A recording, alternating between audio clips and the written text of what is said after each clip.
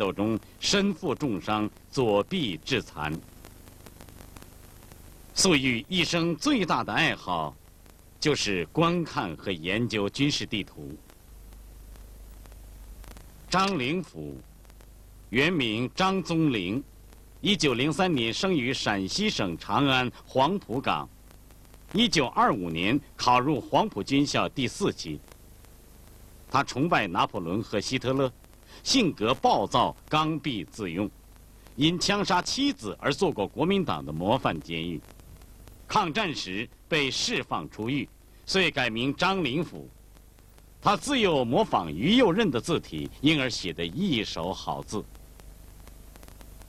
张灵甫在抗战中打出了名气，腿部负伤致残，从此也得了个“跛脚将军”的绰号。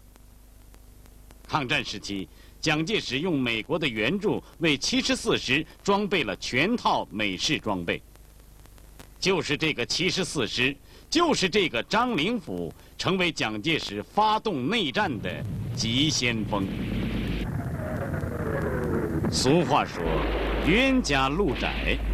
一九四六年九月，陈毅指挥他的山东野战军在四线攻城失利后，便率部退到淮阴休整。不到一个月，得意的张灵甫借机对陈毅各部趁火打劫。淮阴大战历时九天。张灵甫率七十四师突破了淮阴城门，这是陈毅与张灵甫的第一次交手。在涟水，还是那个张灵甫，还是那个七十四师，我军同他们进行了著名的十四昼夜涟水保卫战，但最终我们还是放弃涟水城。这是陈毅与张灵甫的第二次交手。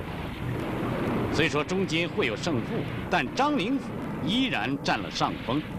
国民党陆军中将李延年得意地说：“有十个七十四师就可以统一中国。”这时的陈毅、粟裕为战胜强敌，开始联手作战。依照中央指示，山东和华中野战军合并，从此华东野战军诞生了。陈粟联手的第一仗肃北战役大获全胜，但这一仗因没和老对手七十四师交手，不免有些遗憾。第二仗鲁南战役，我军打得得心应手，一次歼灭了敌人五个整旅。蒋介石有点发火了，为了挽回这两次战役中失掉的面子。派出了八个整编师，要和陈粟在山东解放区首府临沂决战。其中就有被蒋介石指定为国军典范的第七十四师及被刚授予三等云辉勋章的中将师长张灵甫。雄心勃勃的张灵甫带着七十四师和其他军队一起打下沭阳、兴安镇。最后攻到了山东的南大门郯城，而郯城距临沂还不到一百公里。蒋介石、张灵甫完全摆出了一副和我军武力决赛的架势，实际上是合围我军主力。在这一点上，蒋介石和张灵甫这对师生盘算得很好，他们都认为陈粟能与之决战。因为一年前，陈毅就在临沂同来访的驻青岛美军司令克莱门将军曾经说过要坚决保卫临沂的话。然而，他们却忘记了陈粟随机应变的拿手好戏。陈粟没有争一日短堂，决定放弃临沂，北上求歼李先洲兵团。这就是我们熟悉的电影《南征北战》所描述的史实。陈毅此时不打七十四师，日后他曾诙谐地解释：当时七十四师张灵甫留在南面，我们没有动他，准备把猪养肥了再杀，油水会更多一些。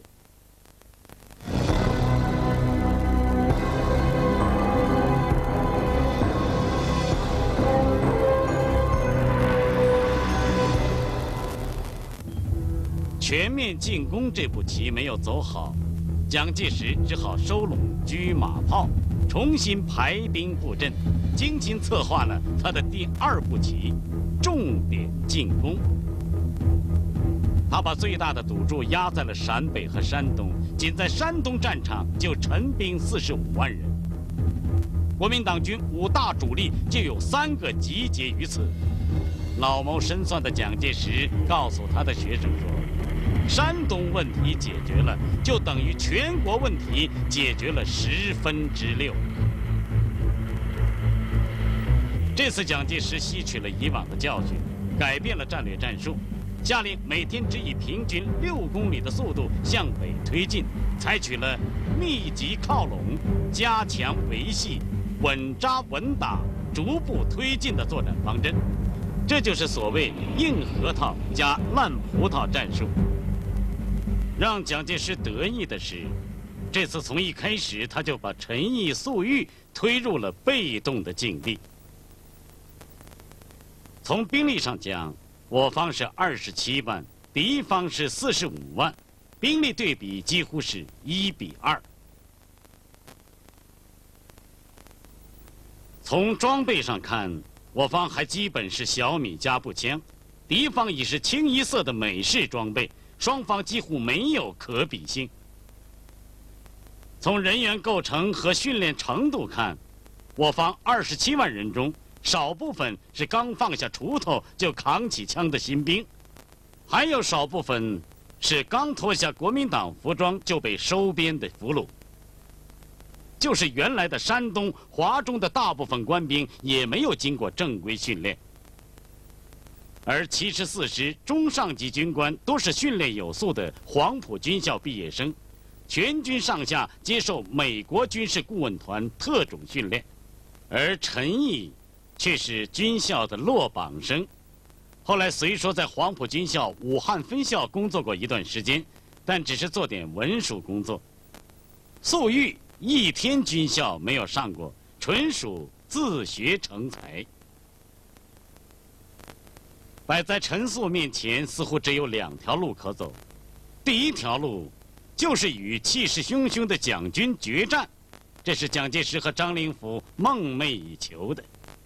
第二条路就是让蒋军集团滚动过来，我们北渡黄河，夹着铺盖离开山东，这又正中蒋介石和张灵甫的下怀。此时的陈粟陷入两难境地，那就是打不过又不能跑。粟裕在地图前冥思苦想，他要为二十多万华野官兵找到第三条路。当时战很难，很难，因为集中敌人集中了那么多兵力，而且又采取了密集靠拢，一百公里的正面集中了那么多部队，我们打哪一个部队，敌人都要很快就来增援，嗯，很快就来增援。那么在这样的情况之下呢，呃，陈硕、陈毅、粟裕同志，呃，就考虑了，呃，如何打。在这种情况下，一个创造战机就非常重要了。你你你必须要一个创造战机的过程，这里面也就也是这个磨练的问题嘛，磨练也是应该属于这个主观能动性的范围之内了啊。那么我们这我现在记不清楚，大概可能那个一个多一个多月的时间的吧，对吧？这个中间，嗯，又打又打一打吃了。是吧？到东边一个，到西边，怎么怎么？当中其中嘛，还有一个比较呃大一点的。创造和寻找战机时的东奔西跑，被陈毅称作耍龙灯，这也许是被蒋介石逼出的第三条路。当时任国民党第一兵团司令的汤恩伯，把陈粟的这种战术叫做“山大王战术”。陈粟带着部队在沂蒙山区或东或西或南或北，诱使敌人在一个月内往返行军一千公里以上，拖得敌人疲惫惶惑。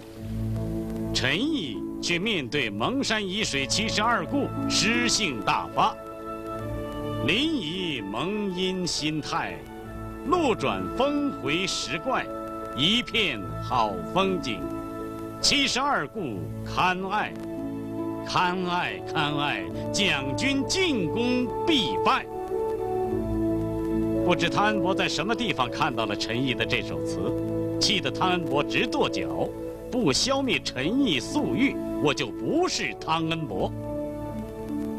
华野部分官兵对粟裕的战术也有些费解，光走不打，官兵有些急躁。粟裕站在那张军用地图前，他的大脑里在高速运转着